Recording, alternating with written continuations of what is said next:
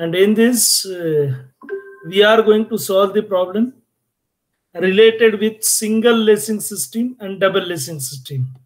And then we are going to see what is actually difference between single lacing system and double lacing system. so now, first we will go for all the clauses which are, which are related with uh, single lacing or double lacing and then we will have a problem with this. So we can have this single lacing, this lacing system actually we are going to use to connect two main components. And in this, this is most important. So radius of gyration about the axis perpendicular to the plane of the lacing, not less than the radius of gyration about the axis parallel to the plane of lacing. So we have R YY should be greater than RZZ. Or we can say should not be less than. So we have RYY not less than RZZ. We are going to provide then uh, uniform lacing system throughout the length of the column. Then we have this lacing. We are not going to use one side single, another side double lacing, or we are not going to combine this lacing with cross members. You can see the figures given in IS 800 2007 in next slide. Then a single lace system we are provided in such a way that opposite faces of the components being laced together shall preferably be in the same direction so that this is the again most important. One is the shadow of the other instead of being mutually opposed.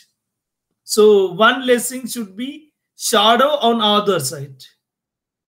So we can have this, you can see this facing which will be on face A. So on this side we have this lacing system.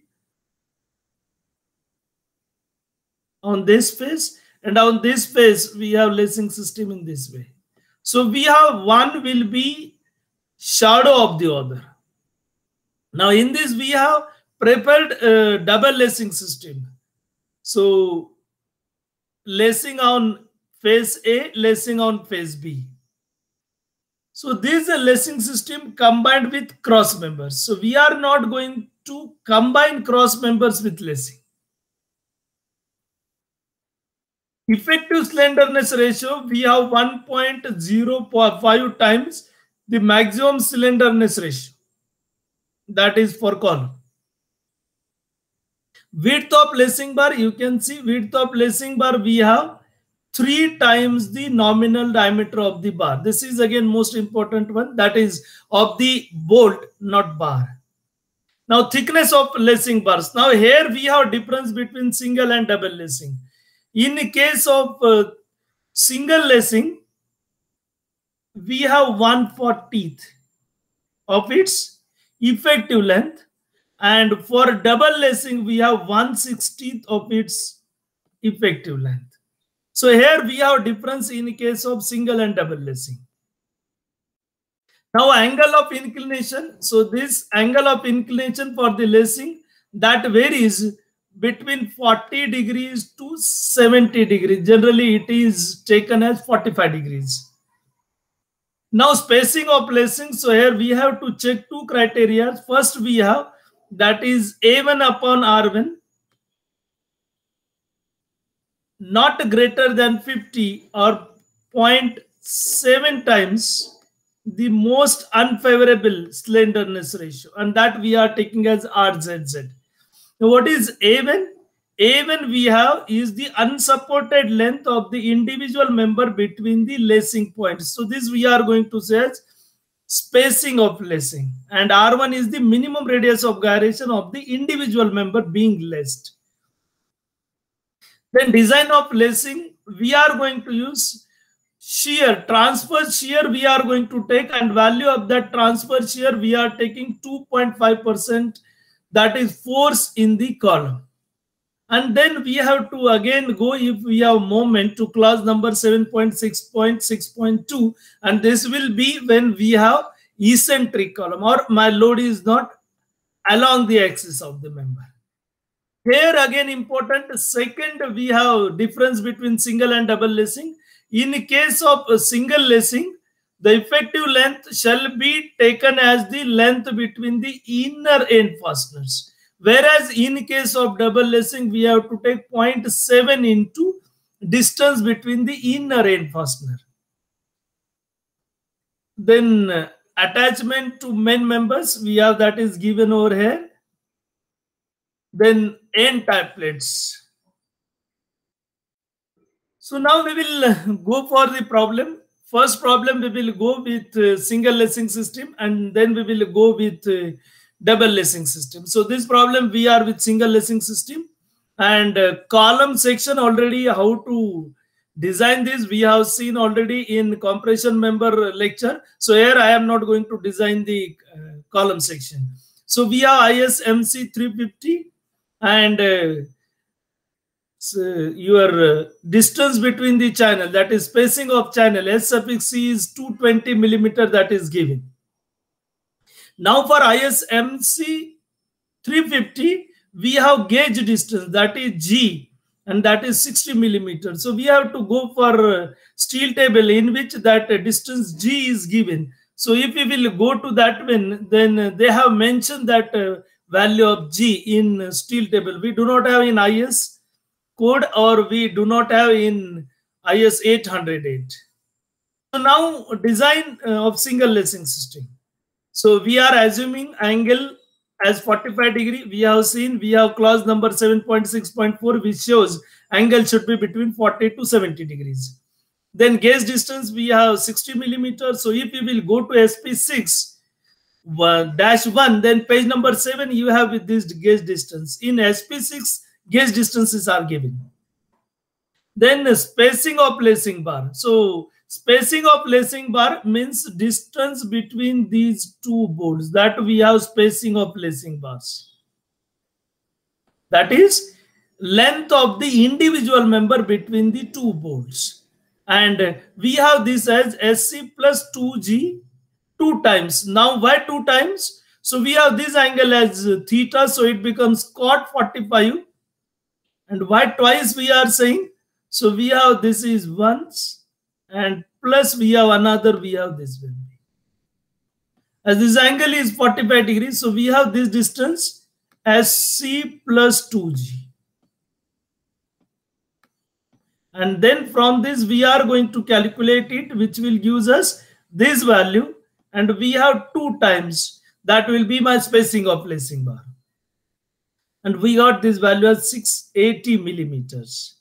Now A1 upon R1 minimum and this we have to check according to clause number 7.6.5.1 and we got this value 24.02 which is less than 50 and 0.7 into 1.05 into 88.08. So we know effective slenderness ratio have 1.05 times of slenderness ratio of column and we have hence. So this is clause number 7.6.5.1.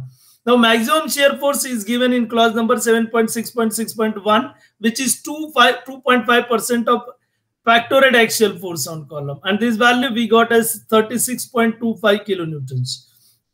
Now if we will go to the same clause then we have transverse shear in uh, each lacing that will be v by 1 v by n and we have 36.25 upon 2 n will be number of planes we have on both sides and we got this value as 18.12 kilonewton. Now compressive force in lacing bar we have v by n into cosec 45 because we have force that is uh, we have to find force that is along the lacing bar and therefore we have to multiply it by cosec 45 and this will be my force in the lacing which will be 25.63 kilonewtons.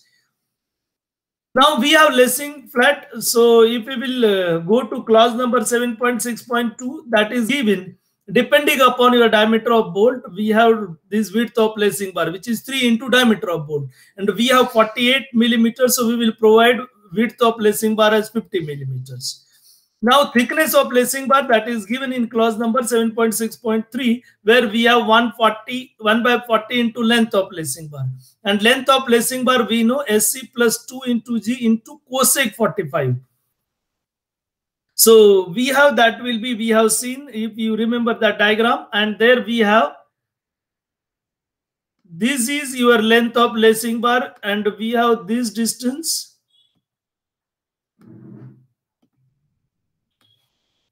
SC plus 2G. And we have this angle as theta with vertical. And therefore, we have length of lacing bar SC plus 2G into cosec 45. And from this, we got this value for 80.83 millimeters. And from this, we got value of uh, thickness of lacing bar 12.02 millimeters. So we will provide length of, sorry, thickness of lacing bar 14 millimeter. Now we have to check stresses. And for that, we have to find out minimum radius of gyration. So moment of inertia, we know Bt cube by 12.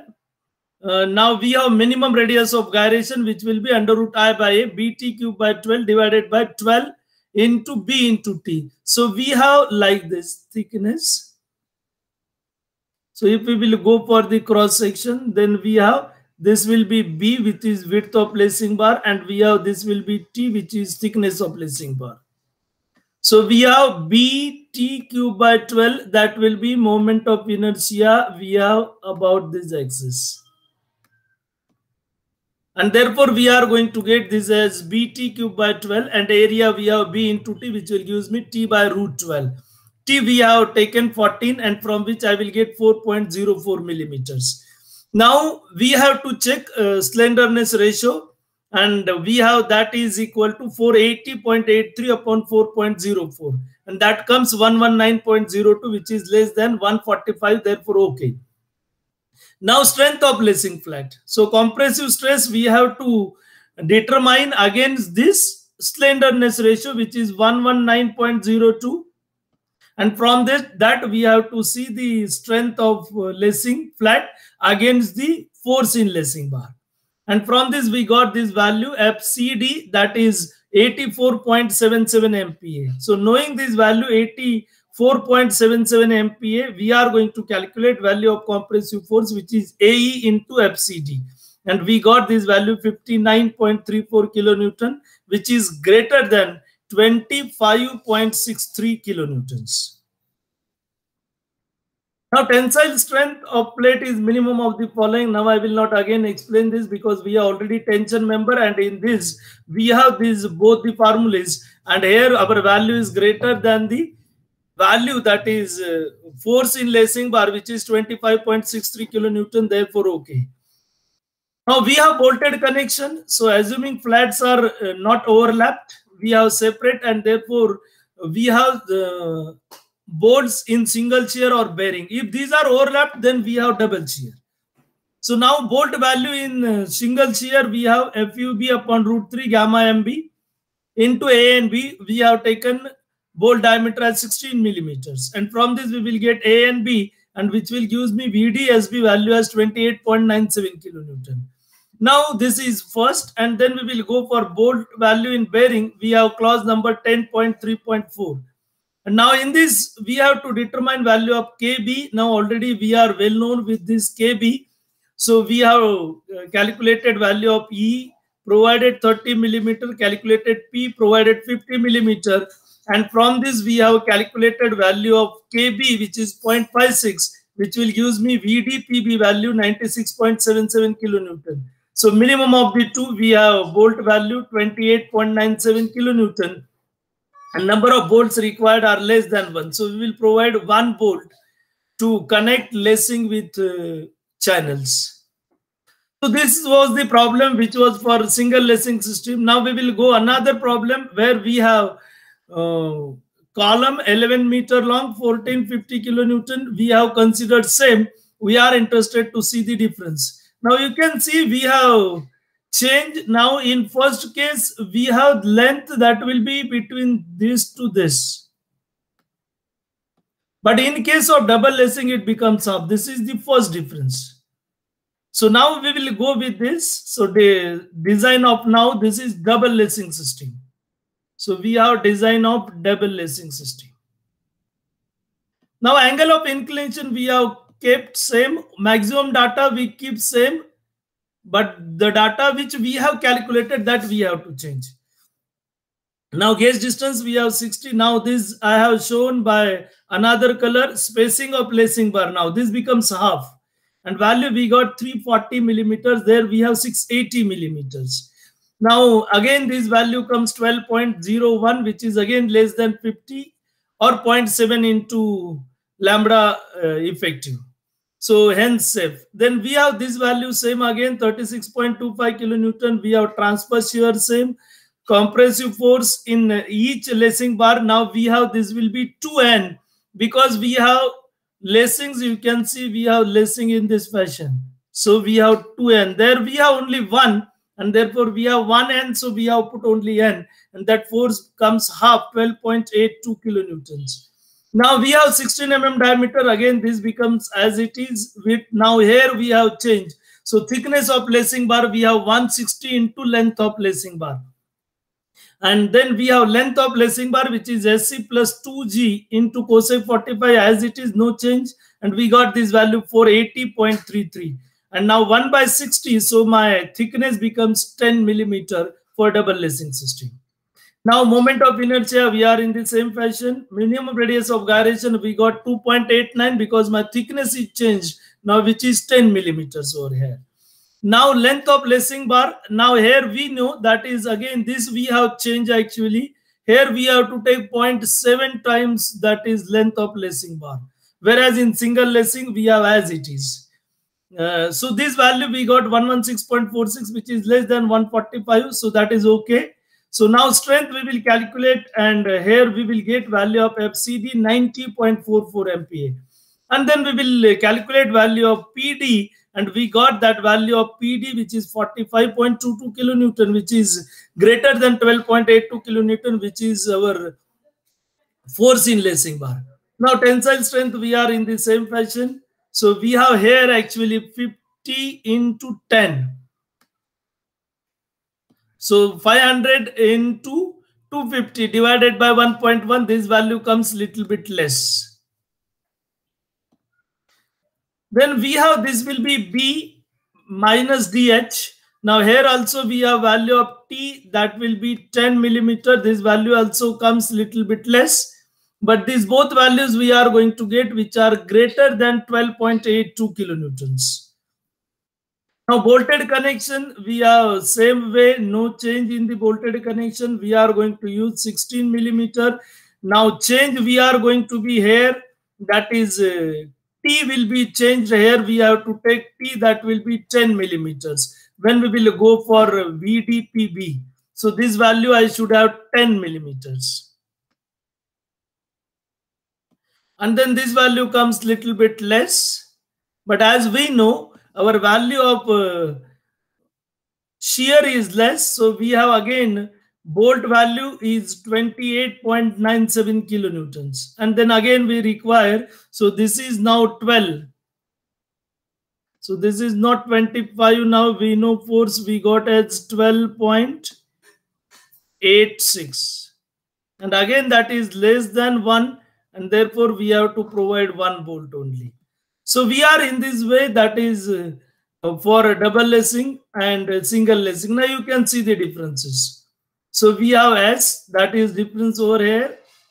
Then length of lacing bar, we have difference. And then we have length of lacing bar. Here we have distance between intersections of the two points. Whereas here I can say this, I can mention it as points. Sorry, length of lacing bar, we have here same. When we will go to the uh, slenderness ratio, there we have to take 0.7 into. Now, if you have channel back to back and channel two to two, what is difference? That is face to face. What is the difference between the two? You can see this. Here you will get length of lacing bar SC plus 2G, whereas here you will get length of lacing bar.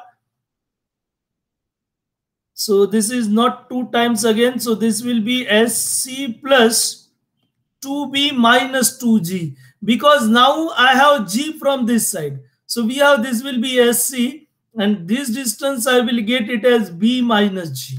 So this distance I will get as B minus G. So it is 2 times B minus G. So 2B minus 2G. And that we are going to get as length of lacing bar. And that we have to keep in mind and accordingly we have spacing and all these values will be changed when we have channels face to face. So thank you. This will be for your lacing system. Now next lecture we will go with uh, battening system. And there we have uh, instead of lacing uh, connecting system we